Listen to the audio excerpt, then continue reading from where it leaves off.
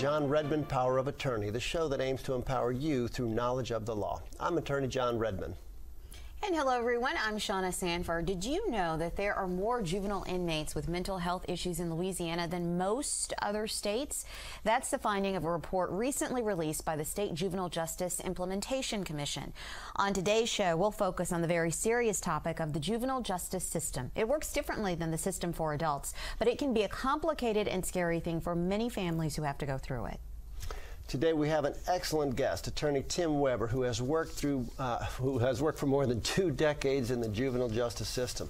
Tim has a lot of fascinating insights into how it works, and we will speak with him in just a few moments. Well, John, before we get to Tim, and he does have a lot of great information to share with us today, if you could, for our viewers out there, sort of help us understand the juvenile justice system for, well, juvenile justice system is much different than the system for adults. Absolutely, and uh, the big picture, and what viewers need to understand is. Uh, when you're a, a child, mm-hmm. but old enough to get into trouble with the law, uh, you're not treated as an adult. In fact, a lot of times when you read about, um, God forbid, a murder, uh, if a child, uh, 15 years old, 14 years old, 13 years old, gets a, his hands on a gun, commits an armed robbery, kills somebody, the, the, question is should we try him as an adult or try him as a child? Mm. Children who are treated as children under law in the juvenile justice system um, uh, face a different set of laws and are sent to different prisons, tr are treated differently. Mm -hmm. um, one of the things that we have tried to do under Louisiana law is reform the juvenile justice system. In 2003, a lot of changes. We're going to talk about that. It's a fascinating discussion, really and it needs is. more work, but it, we'll talk. Right, and it's had a big impact. Coming up next, attorney Tim Webre joins the show to talk about kids and crime and what you need to know about the juvenile justice system and how it's working. Stay with us. We'll be right back. Hello, everyone, and welcome back. Well, we've all either read the stories or seen them on the news. Kids committing crimes across the country, our state, and in our communities. And for some, it's a problem that hits too close to home. Is the juvenile justice system in Louisiana working? How does it work? Attorney Tim Webre is with us to answer those questions and many, many more. Tim currently works as a private attorney in family law, criminal defense, and other areas. He spent many years working with the Jefferson Parish Public Defender's Office, where he represented juveniles accused of crimes. We're happy to have you here with us, Tim, my good friend. Why don't you describe for us what is juvenile justice and paint that picture for us? All What's right. going on with it? Um, Ten years ago, 2003, the Juvenile Justice Reform Act was passed. Uh, so the juvenile justice has changed drastically. If you look at the picture in 2003, uh, Tallulah Prison was still operating. One of the things that the Reform Act did was close down Tallulah. Tallulah was the worst prison, juvenile prison in the country. Uh, the Human Rights Watch released a report of human rights violations, international human rights violations occurring at Tallulah. Um, there was children were being kept in solitary confinement children were being brutalized, children uh, were being sexually abused, and children were going hungry. Tallulah was a private prison, and the, the corporation that ran it to save money wasn't feeding the children enough. At the time, in 2000, and you, the, the figures I have are from 2000, we had 1,800 juveniles in a juvenile penitentiary in Louisiana the recidivism rate of those children over three years was 85%. Define recidivism. They committed another crime that landed them in, back in prison within a three-year period. After they had been released. After they so they served their time, they were released, and, and then went, went back right and back committed in, another the revolving crime. door. Mm -hmm. Yeah. Since then, what we're looking at, um, the snapshot today, uh, there are only 444 children in secured care of the three facilities still opened. Recidivism rate has dropped. these are the worst of the worst children. Uh, recidivism rate over a three-year period. The last three-year period they they have, can keep track of it was down to 45 percent.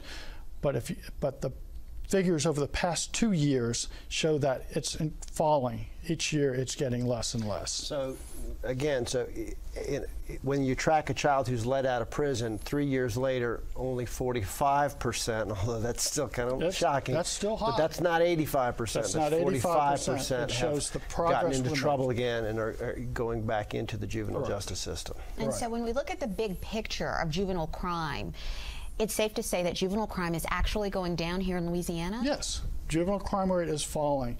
Um, in Jefferson Parish, there were 8,000, over 8,000 crimes um, committed by juveniles in 2004. It's down to 3,000.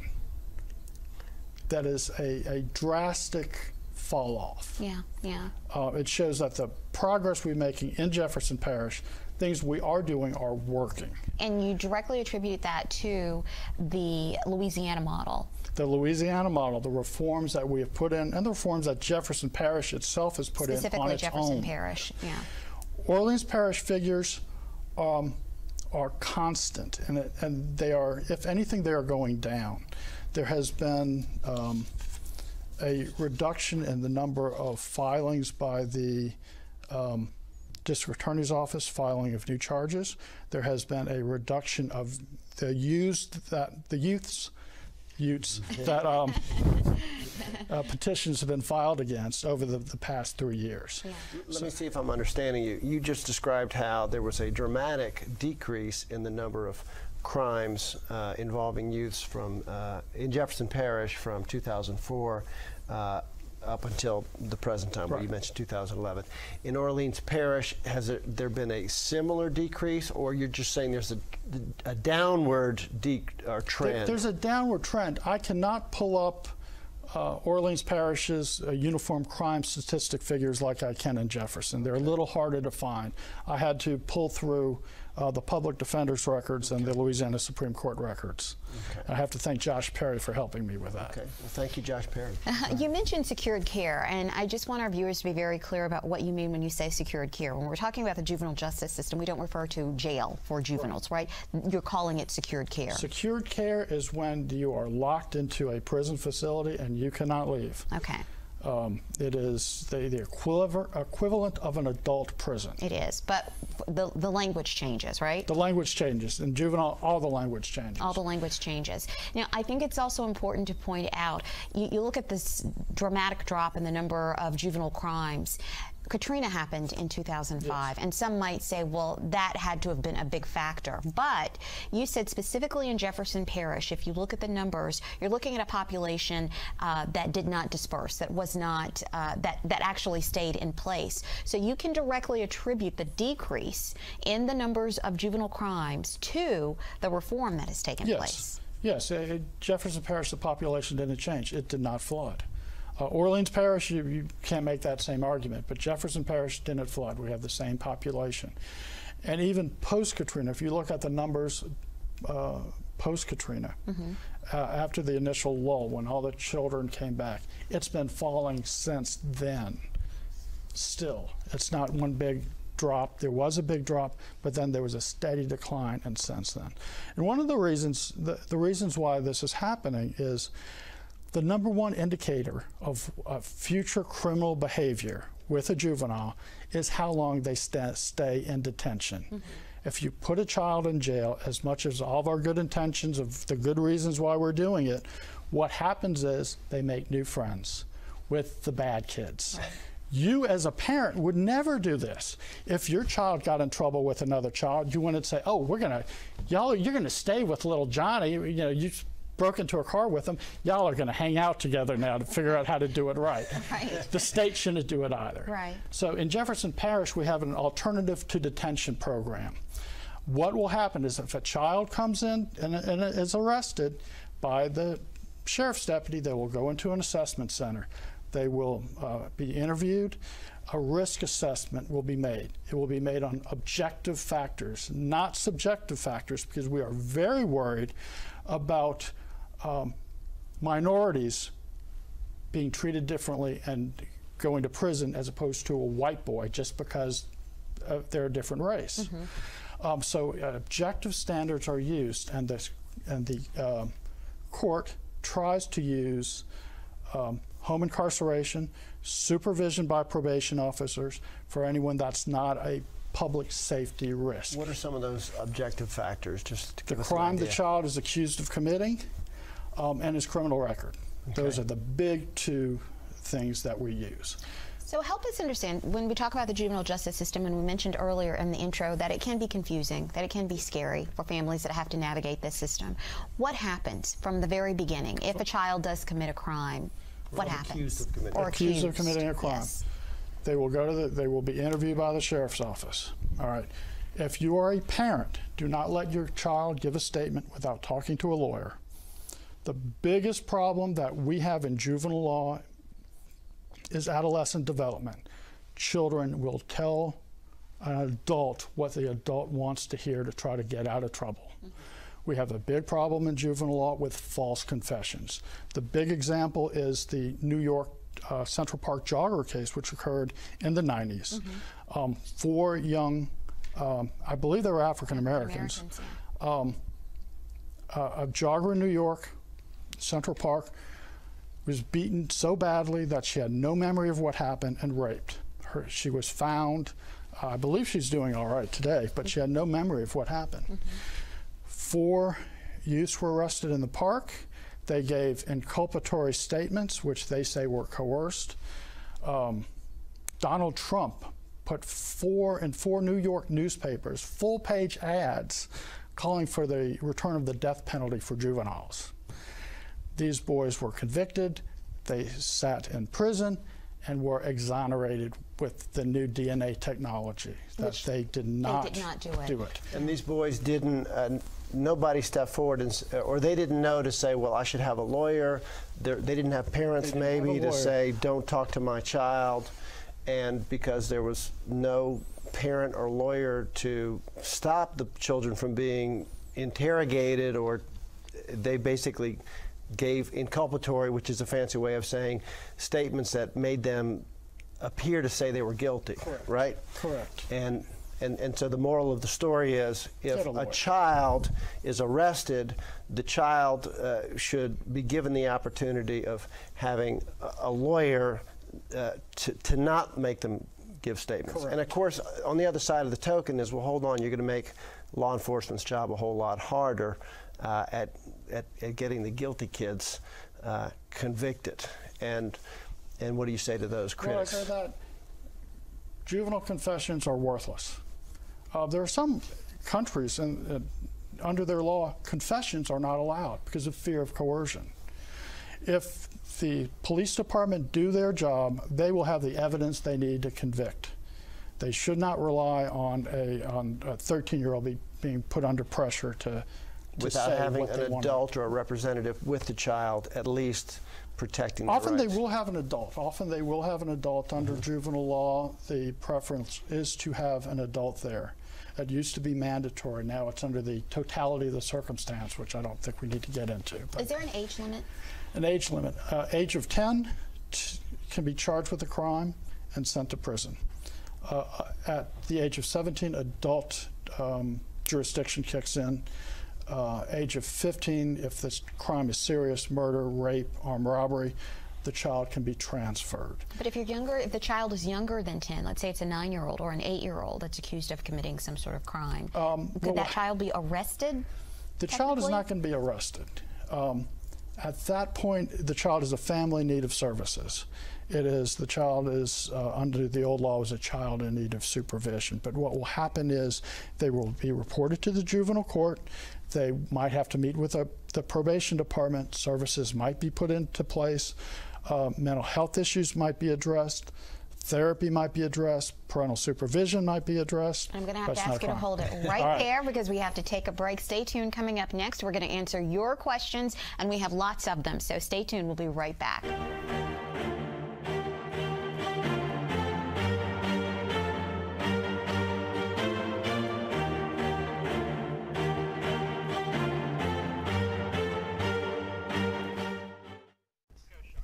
Hello, everyone, and welcome back. Time now to get to your questions about the juvenile justice system. Our guest is attorney Tim Webre, and we want to thank you so much for contacting us through Facebook and Twitter. We have some really great, great questions, and so we're going to get straight to them. I mentioned earlier about a report that was recently released, uh, which um, looked at the mental health status of youngsters who are in the juvenile system. And our first question comes from Jennifer. She says, Why is there a lack of mental care for children? And that report found that there are are more children with mental health issues in the Louisiana juvenile justice system than in any other state. Are you surprised by that? I've seen it. it it's appalling. Uh, the problem we have is uh, people are using the juvenile justice system instead of the mental health system. Um, it's there's no logical reason for it. It's budget cuts. Um, the Office of um, uh, Children who should be receiving mental health treatment are, are ending up being arrested for whatever mental health problem they have, mm-hmm. and you're ending up criminalizing being mentally ill. Mm-hmm. This has been going on for years. It needs to be addressed. It needs to be addressed by more services in the community as opposed to putting them in prison and thinking a prison is going to solve someone's mental Sounds health like, problem. almost like a human rights issue. It's like It this is a some- human- this is a child who's got obviously got uh, health issues. It happens to be mental health versus physical health, and uh, can't uh, restrain uh, his or her behavior. And instead of recognizing that, they they're just treating him like a, a kid who steals a car or Right. does something else that they should be able to. Um, Now- they should should treat it differently. in the defense of the Office of Juvenile Justice, they are they do have mental health treatment in the facilities. They do. If you are if you get locked up in the state facility, um, there are mental health units that they uh, can treat uh, the children. The sad thing is that the children shouldn't be there in the first place. In the first place, yeah. They, they should be have been diverted out and and had. Uh, mental health services instead of being incarcerated. Right. Uh, earlier, I mentioned uh, the Louisiana model. We um, didn't really explain that, but when you talk about reform, here it's called the Louisiana model, but it's patterned after the Missouri model. That's Is that correct? Correct. Yeah. It is a um, a more therapeutic model than a lock them up and throw away the key model. Mm-hmm. Um, the idea is to have a child in a um, as close to a home-like environment as possible, instead of as close to a prison environment, an institutional environment. Mm-hmm. Yeah, the We reason is if you lock them up, you might as well throw away the key because when you well when you put key. a child in with other criminals, the child is basically learning how to become a criminal and, as opposed to learning how to uh, address the issues that got the child into the uh, criminal trouble in the first place. Right. Back prior to the 2003 reforms, uh, the system was called the Louisiana Training Institute. The only thing that I, from my experience, thought that they, they were these children were trained to do was to steal Dodge automobiles. Wow. That's awful. But it makes sense. If you are a parent, you know, and if you were, ever were a teenager, which I was, you know. Mm-hmm. At that age, your friends, your peer group are the most important thing to you. You're trying to learn how to work your way through the world, and the people that you associate with become who you are. Right. You know, you assume their identity. Right. Uh, we have another question here. It says, "What will happen to my son's juvenile criminal criminal record once he becomes an adult? Will his record affect his ability to find a job?" It shouldn't. Juvenile records are confidential. Um, also, they're not adult convictions.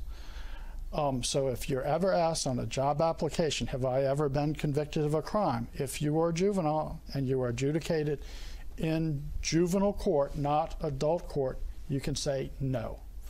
Um, you don't even you don't have the same rights in juvenile court as you do in adult court. You do not have the right to a jury trial.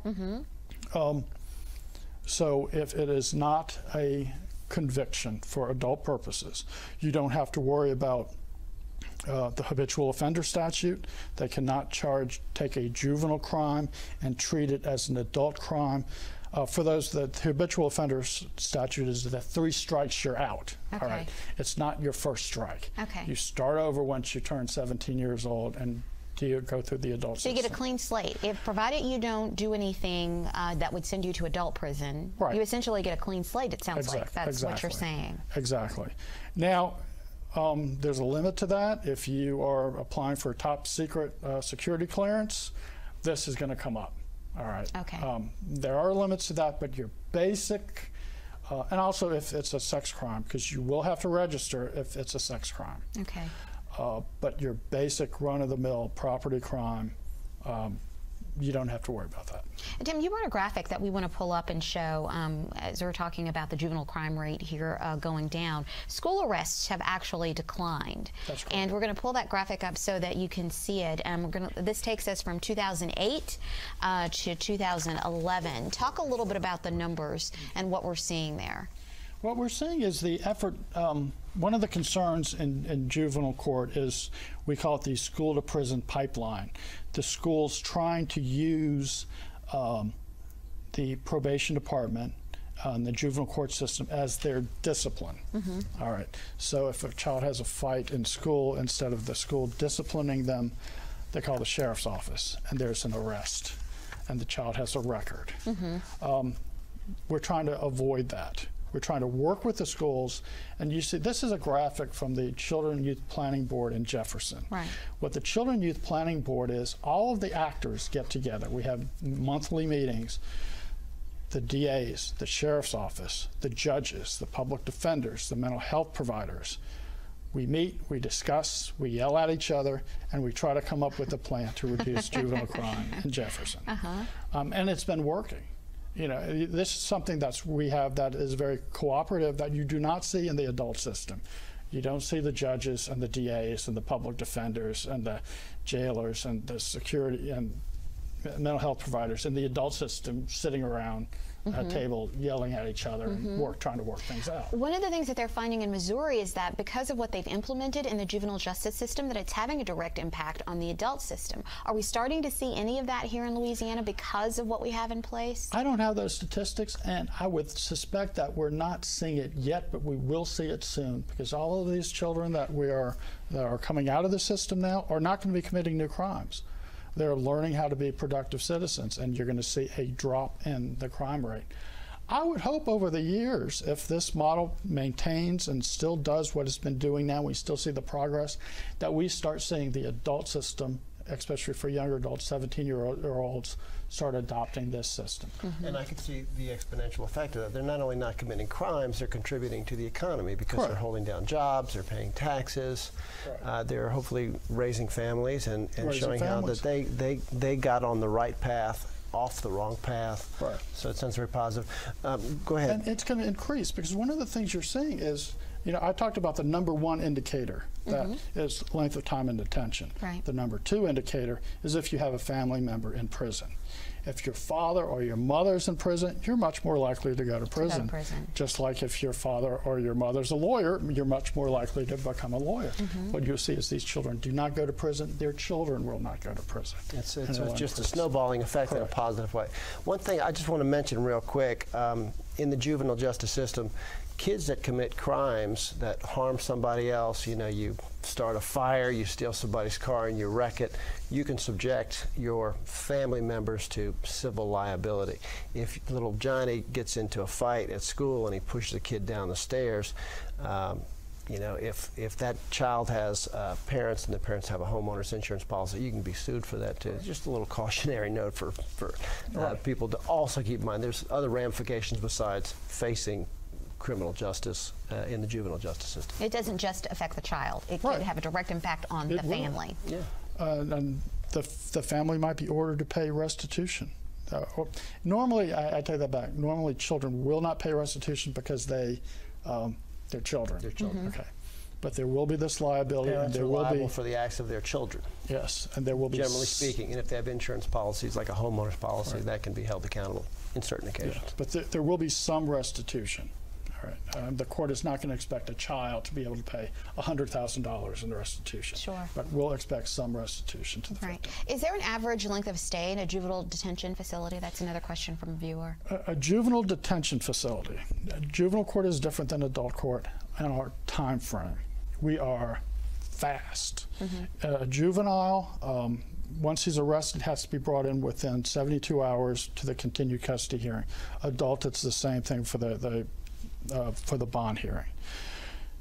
At this point, it changes. District Attorney's Office has 48 hours to file a petition to accept or refuse charges on that juvenile held in detention.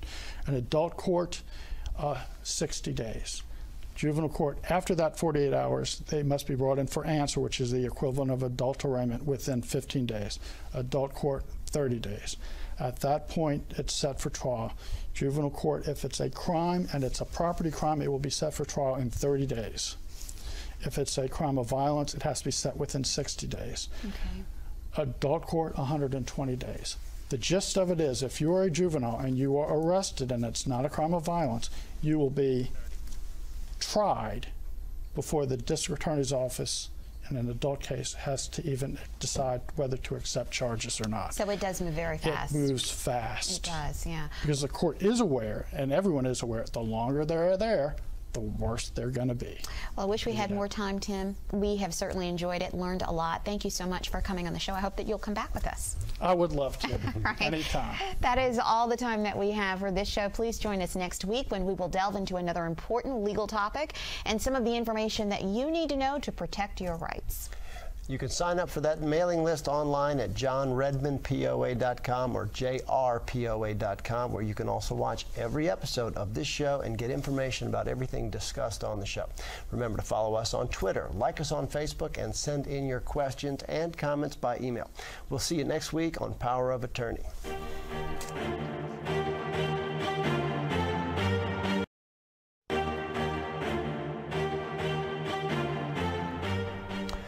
Welcome to this Lagniappe edition of Power of Attorney with our guest, Tim Webre, who does uh, criminal defense work, um, juvenile defense work, and family law in private practice, formerly with many years of experience working as a public defender doing juvenile law and related types of law. Uh, Tim, thank you for doing this Lagniappe section. Um, we're going to continue the discussion that we did on our TV show. Um, um, I want to ask you the more broad question. Uh, does a, a juvenile, a child who is uh, accused of a crime, uh, uh, looks like he's been arrested or looks like maybe he's going to be arrested, does he need a lawyer? And if he needs a lawyer, she need a lawyer? And if so, when do you get a lawyer? Let's say you're the parent or the guardian. Absolutely needs a lawyer. Okay. Um, absolutely. In when fact, the law and requires it. Okay. Oh, the law requires it. Yes. And if they need a lawyer, when do they need a lawyer? At what point do they get a lawyer? And uh, frankly, how does someone afford a lawyer? I know lawyers often charge a lot of money. If they if they can't afford a lawyer, they can use a public defender's office. Uh, the public defender's office in Orleans, Jefferson Parish, uh, all the lawyers are very competent. Um, Competent meaning they can do their job. they can do their job. They can do their job. Okay. Uh, there, there's good supervision in both of those parishes. Now, what lawyer you get it changes from day to day, so I cannot tell you. Um, if you don't feel comfortable with that lawyer, hire a private attorney. Okay. Find the money. Right. It's important for your child. Why, why would you hire a private uh, attorney if you got competent lawyers in the public defender's office? Well, if you're comf- comf- confident, comfortable with your lawyer, then it's not necessary. If you're not, if it's a, a serious case and you are concerned about the experience that particular lawyer has, hire a private private lawyer. Okay. And um, so, um, what are the, let's talk about that. Pros and cons of a public defender versus uh, a private uh, practice attorney. A private practice attorney is somebody who maybe they've been doing it a long time, maybe they've been out of law school for a year or two. I guess depending on the private practice attorney, uh, that, that's one of, that could tell you if it's a pro or a con right there. Why don't you explain? Well, you need first you need a lawyer with criminal experience because what we're dealing with are criminal statutes, right? You also uh, need a lawyer who understands juvenile law and has juvenile law experience because there are differences because we are talking about adolescent development of children. Um, there has been a push in some areas of the country to have a special certification for juvenile lawyers. Uh, we don't do not have that in Louisiana. So if you're looking for a lawyer, you want to use the internet, you want to use whatever uh, referrals you have to get a lawyer who's not just has criminal experience but also has juvenile experience. Right. So, if I'm understanding you, uh, let's go back to that first question. Does a child need a lawyer uh, uh, if charged with a juvenile offense? Uh, and when? Uh, the answer is yes. A child definitely needs a lawyer if charged with a crime. In fact, they're required to have one. And when? When is from the get-go, right away? When it will be when they're brought to court for their continued custody hearing, a, a lawyer will be appointed for them. Okay. Okay. Uh, If you, you should hire a lawyer before you let your child give any statement to the police. It should be, a, do not give a statement. and then hope that they're just going to let it go away. That's not their job. Their job is if they take a statement, if there's evidence, your child will be arrested. Is typically uh, i are the police going to be trying to interview the child before that first court hearing? Yes, Okay. they will. So even if you don't have a lawyer for your child, can you insist that the child uh, not uh, be interviewed, or Yes. insist that the child have a lawyer Yes. uh, uh, and let the lawyer decide about an interview before the interview happens? Yes, a child has all the constitutional rights as an adult with the exception of a jury trial. So you can insist on your Sixth Amendment right to counsel uh, at any stage of the proceedings, in and you should. virtually no lawyer is going to allow that child to be interviewed. No lawyer is going to uh, allow that child to be interviewed. The big problem we have, one of the big problems we have, is adult standards being imposed on children. These, the criminal defense, the criminal statutes are written for an adult. The, the most egregious example I'll give you is the aggravated rape statute. Aggravated rape, which carries as an adult a life sentence, is having sex with a ch- in, uh, amongst the many things, is having a child under the age of 13. Having sex with a child under the age of 13. What if your child's 12 and he has sex with an 11 year old child? This has happened. Okay. I mean, I've had this case. mm-hmm. They're both under the age of 13. What's the district attorney's office going to do? Charge them both with aggravated rape? Right. That's crazy. It's crazy. This is a crazy case. This is a statute written for adults. Right. Well, what about what if you're a parent and you say, "Look, you know what? Maybe my kid. This is all a big mistake. Well, uh, let me just go in there. I, I didn't go to law school, but you know, it's all a big. mi- My child tells me uh, uh, he didn't do nothing uh, wrong. I'm not a lawyer, but I can go in there and I can I can speak for my child, and we can sort this all out. Is that wise? No. Why not? Your child is going to lie to you because they don't want to get in trouble. All right? I didn't they take are the cookie out of the cookie jar. It's just a little bit more advanced. It's a little more advanced. That wasn't me. They're not going to tell you the truth. But then you have a deputy who is confronting him with years of experience interviewing children. They're going to tell that deputy an entirely different story than they told you, and they're going to land up Yeah. in detention. In fact, getting back to a, an example you gave on the television show, also available on this uh, website, um, some deputies, if they have convicted themselves in their own mind that the child is guilty, they have ways of interrogation uh, that uh, might get the child to admit to doing a wrong the child never did, correct? This is a common problem we have in juvenile court false confessions of juveniles. I gave the example of a cent- the Central Park jogger. There's a similar case. A lady in New York who was beaten so badly she didn't remember what happened. Donald Trump took out ads saying, uh, return the death penalty for juveniles. Later on, after the children were convicted, after they confessed, DNA exculpated Right. them entirely, so they didn't do it at all. The Similar children were in had their words, th- they had their heads turned around in Right. interviews, and they said they did it, or they said words that people interpreted as saying Right. they did it.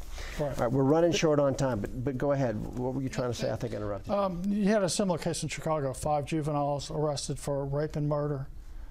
False. The, the children were saying these were, you know, they they were coerced out of me. Again, DNA comes back. Yeah, Once they had attorneys get involved later on, the Right. attorneys tried to sort out the mess, but by then Right. a lot of damage, damage had been done. done. The other thing, and. I'm not, I'm, you know, and I'm, this is why I'm really insistent. What you think as a parent, this is not serious.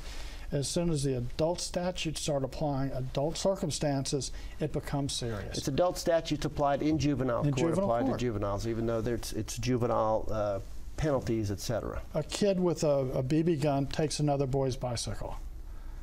All right, that's bad. I'm not saying it's it's a good thing. All But right, I probably did that when I was a kid. But it's- no, I didn't do that. but it's not armed still, robbery. it's not And it- taking a gun that could kill somebody. but it, it is treated as an armed robbery because as an adult it would be treated as an armed robbery, and your child is looking at a mandatory prison sentence. And maybe the DA is using that just for leverage, so they can get you to admit to uh, to to agree to a plea deal later on. That's whatever they feel like getting. They get a conviction on their uh, uh, um, on their whatever their uh, conviction rates. Right. Um, la- last thing, because again, we're, we're these uh, webinars run short. These web uh, web interviews run short. Um, overall, if you can afford an experienced uh, uh, private attorney with many years' experience working in this field, uh, that may have a definite advantage. If you meet, if you interview several uh, private attorneys uh, and you feel very comfortable, um, that's that's a more solid uh, advantage at at um, having your name cleared, your child's name cleared, than going with the public defender's office where you might get a less experienced person, whoever's assigned. Um, is that a fair statement? That's a fair statement. If you were in that circumstance, would you want a lawyer with 20 years experience or someone fresh out of law school uh, Right. trying to gain experience on your Right. with, at your child's expense? Now, last uh, last part, and I'll see if you can answer this in about 60 seconds. What's the best way for somebody to go looking for a private attorney uh, in the greater New Orleans area? How do you how do you go looking you for need to like do some footwork because it's not as easy. There's only a few of us. Get on the get on the uh, internet, uh, talk to people. Um, you need to do some footwork, but find someone with experience. Okay. Um, Tim Webre, uh, very grateful to you for your time and your very interesting insights into the juvenile justice system. Great strides made, a lot more work to be done. Thank you for being here. Um, thank you for watching us. Thank you for joining us on this um, interview, and we look forward to seeing you on John Redmann Power of Attorney on other webcasts and other show productions. Thank you.